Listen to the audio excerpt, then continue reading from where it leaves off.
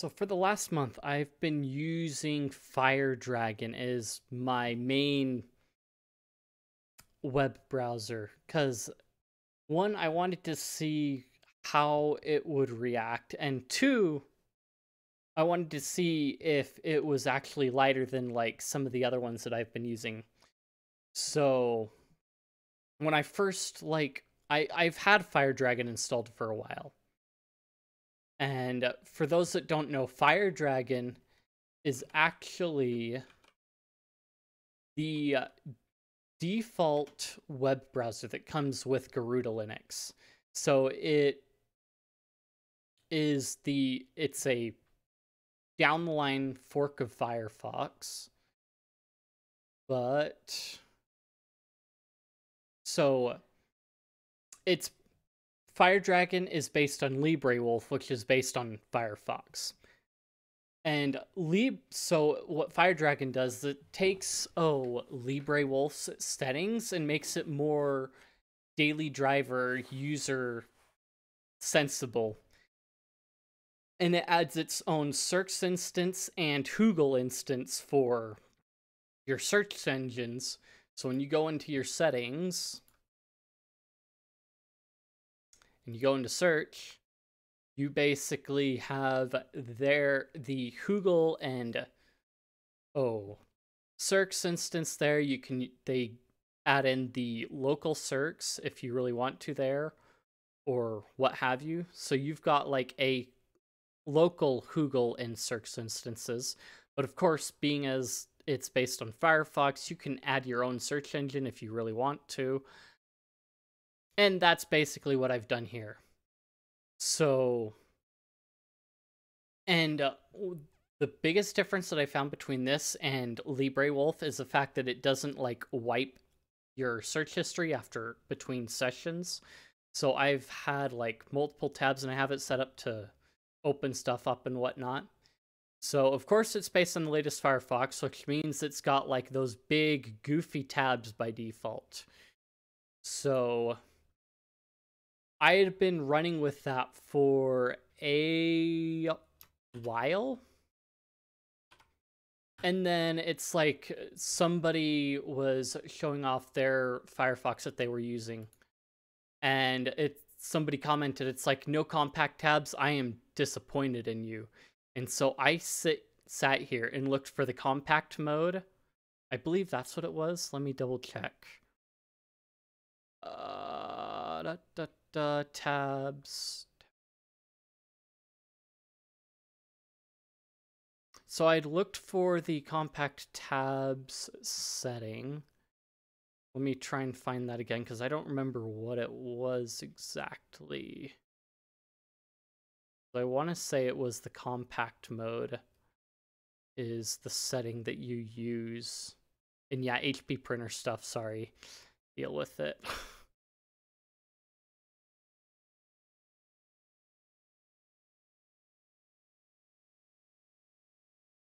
yeah, so it would probably be the compact mode up there.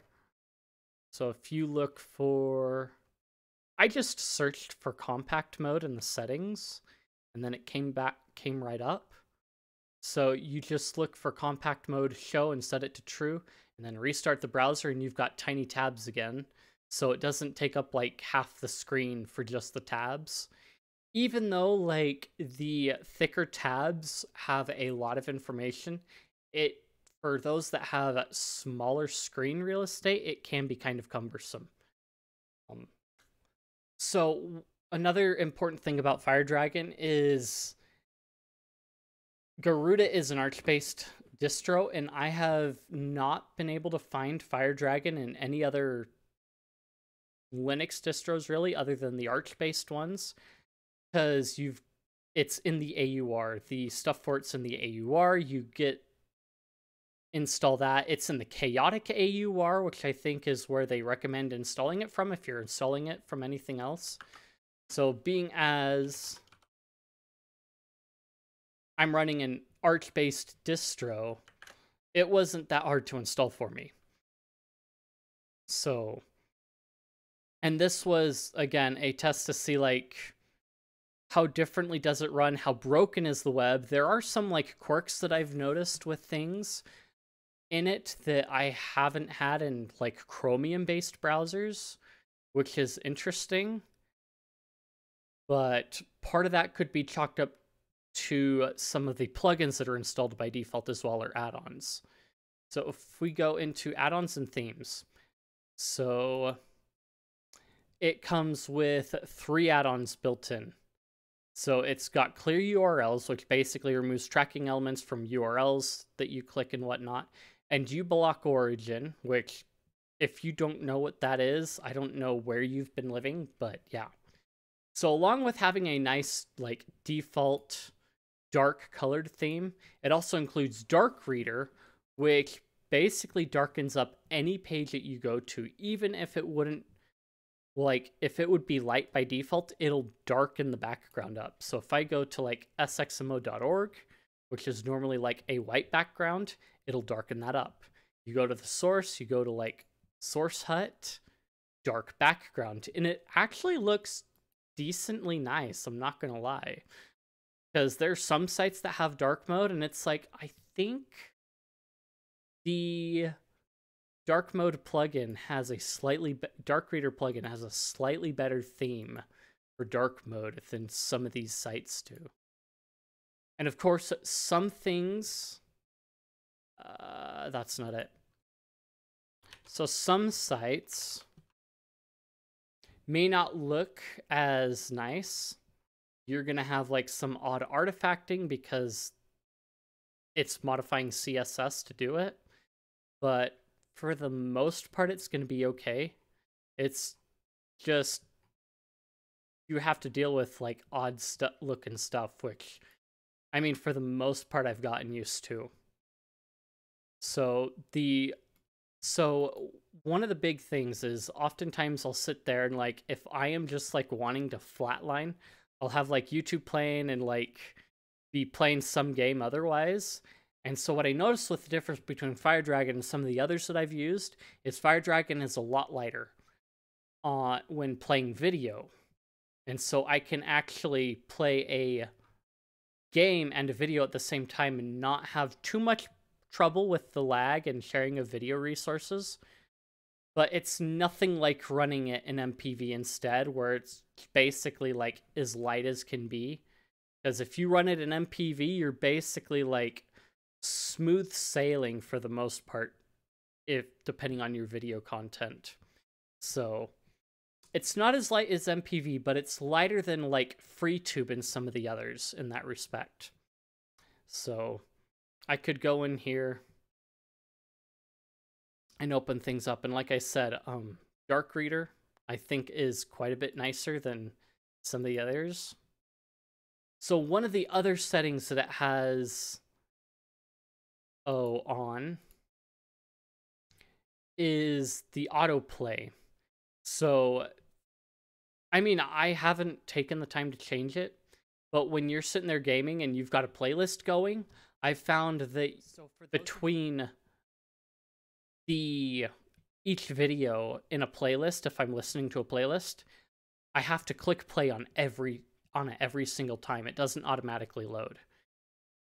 So you can change that setting. I haven't done that as of yet, but um that is one thing to be aware of is there are setting issues that way. And for the most part everything works like I said. There have been a couple small quirks that I've run into so like some of the sites that I would go to, it's like the input doesn't work exactly the same because you're running on a different um, JavaScript and web engine framework. So that turns out to be interesting. But if you're one of those people that is also a developer, then it's really helpful to have something like this because it shows you what it looks like in some of the in another browser other than like the 10 million Chromium based ones. Because once you install Chrome, you're basically setting up to uh, placate to 90% of the browser market because pretty much everyone uses some Chromium based browser for the most part. The only exception I think outside of that would be something like, oh, Pale Moon or Basilisk. So those two would be your like only exception because they have their own web engine completely. Oh, and it does it what was it? It's got an HTTPS always mode on only mode on. So yeah, that's a thing.